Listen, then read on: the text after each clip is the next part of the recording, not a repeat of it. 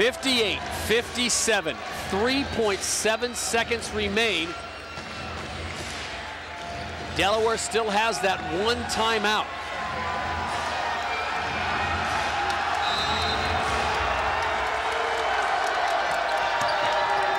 Hagins, Saddler, pulls the trigger.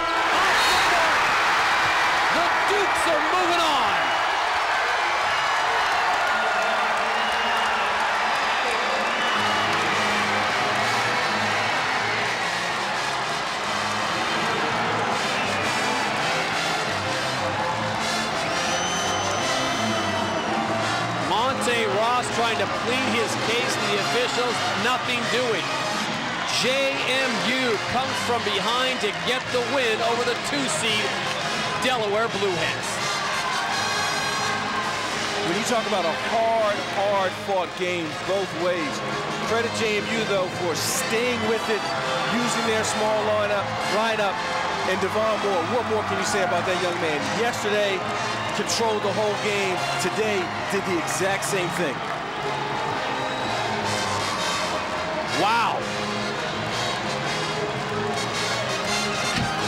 It doesn't get much closer than that. A 58-57 win for James Madison following up with our first semifinal where Northeastern comes from behind 24 points down. They get the win as Jonathan Lee puts in the game winner with three seconds left. It all kind of stems from this point. You know, Delaware's got the lead. They throw it inbounds, and that's where they're saying basically he, They, the officials are saying that the ball hit the end line. At first, we thought he, it was a foul that he was calling, but instead he said the ball hit the end line. He was right there on top of it. He was strong, aggressive with the call. And then the very next possession, you see Moore drives hard to the basket. It looks from this angle that Hagins gets all ball, but the officials are on another angle. They say he fouls him on the arm. Then Moore goes to the free throw line calmly, coolly, nails both of them. My new hero, Carroll's son, Devon, steps up and knocks them both home, and those prove to be the game winners as we sit down to Mike Corey. All right, thanks very much, Todd, here with Coach Brady. Congratulations. How did you guys pull this one out? You know, we'll have to go back and look at the film. Like, I'm not exactly sure. Our kids play with a lot of heart. We didn't always play smart. We did some dumb things. But we played hard all year, and they fought till the very end. I told these guys with four minutes to go, we were going to get a lead before this horn sounded. We just had to hold it at the end. They kind of looked at me like I was crazy, but they believed all year, and they came through for us tonight. I know you felt like Delaware was beating you to some loose balls, getting a couple of offensive rebounds. You turned that around late in this ball game to get the win. No, it was great. Our guys keep fighting. We had to keep driving them. They were bigger than we were. We wanted to drive them. They got all the loose balls, and I'd like to think that our team is going to come up with some of those balls. They did a better job than us for a long stretch in the second half, coming up with those loose balls. But we kept fighting. You know, it's, it, this game ain't over till the horn sounds, and we played right to the horn. What does this say about your team effort, the way everybody seemed to come together to help you guys into your first championship game since 1997? Well, you know what? It's a tribute to the players. You know, I've said all along, our freshmen are trying to help our seniors. Our seniors are leading. It's taken them a long time here to learn how to lead. I've got a great one here in Devon. We don't always play well, but we're playing hard, and that's all you can ask from a group like this. Last thing from you, tomorrow night, Northeastern, what's that going to be like playing for the CAA title? Well, we haven't beat them, so it's going to be an opportunity to get a payback. Billy's a great coach. He's, he, I think, you know, he's one of the best coaches in this league. He's one of the best coaches in the country. They've got an emotional win. We have an emotional win.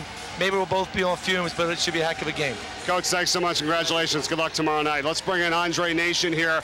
And uh, JMU Nation, you get it done for these guys. Uh, take us through the final stages of this ball game and what you and your teammates were saying to each other as you tried to get the lead back and eventually win it. Uh, we were just trying to stay together, man. Like, I mean, we had to, they had to put a big on me, so we just tried to attack. I mean, my senior point guard trusted me to, to get the winning bucket. Unfortunately, I didn't get it, but he came back and made a good play, and he got two free throws and we won the game. What was Delaware's defense doing to you guys early on, and then how did you overcome some of the things in the second half to get the win? Um, I, I think we just took like quick shots. I don't think their defense really did anything to us. I think we just took a lot of quick shots in the, in the shot clock. I mean, once we settled down, we got to the cub, we got baskets, so that's how, that's how it went.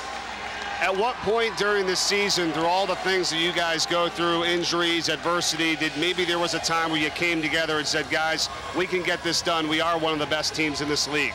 Oh man, we've been saying that since day one. Like it wasn't a point in time. We, we knew since day one that we, we were good. Even even through injuries, we knew we could play for each other. We, unfortunately, we didn't get uh, Andrey Semenov back, so that hurt us. But we knew we knew what we had, man. We just we won, man. I can't say nothing else, man. We just won.